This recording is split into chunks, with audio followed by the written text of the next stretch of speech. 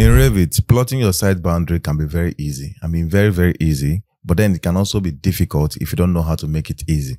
So in this video, I'm going to be showing you how to change the Revit settings to make plotting your property lines very easy for you in Revit. Let's go. Usually, this is how a, a property line is presented in the survey plan. You can see the way they presented it. You don't need to come and start solving for bearing because Revit presents you. There are two ways. Let me open up this thing. All right.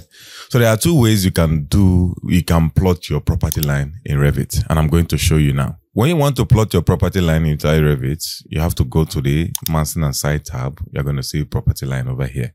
Okay. If I should click on it now, it is going to ask me if I want to create by entering distances and bearing. I have the distances and bearing here. So I'm going to click that.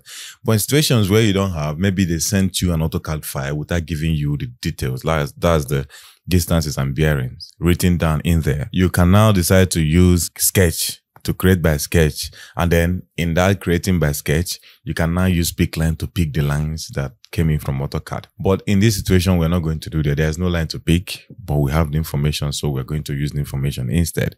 So I'm going to hit this create.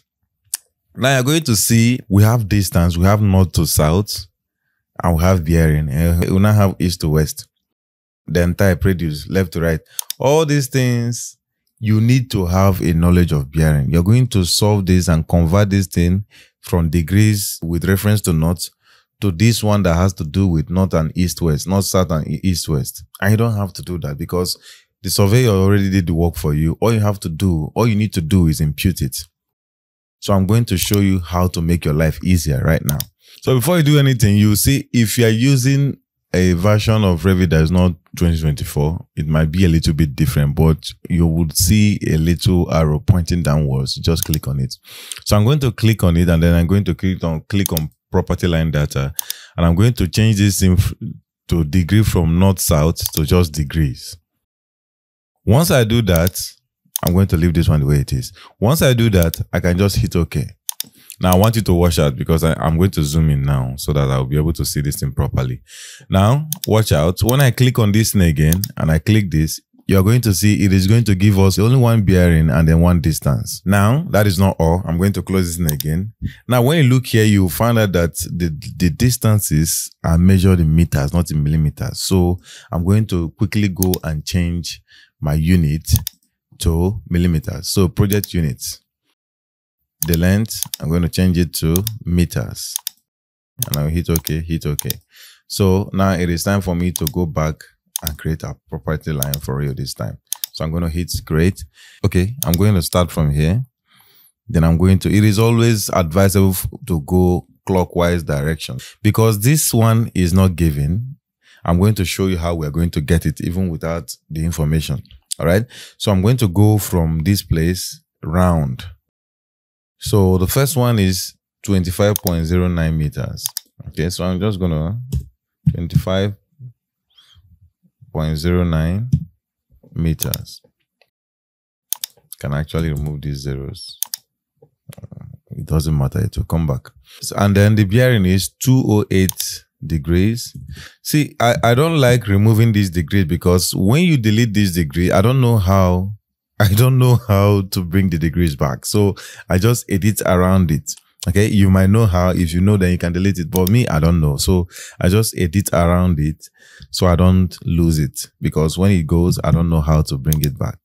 So I'm done with the first option, which is this. I'm done putting the first information, the bearing and the distance. So when I want to put this one, I am just going to come over here and then I'm going to click insert. All right. So I'm going to do the second one, which is 29.21 meters. Then here we have 307 degrees. And then on this other side, we have 21 degrees. I'm going to hit insert again. All right, now we don't have this information, but we need it to be able to complete our property lines. So what do we do now? Just click this add line to close. When you add it, Revit is going to give you what is going to join this because what I've created I've successfully created the lines from here, here, here, up to this point.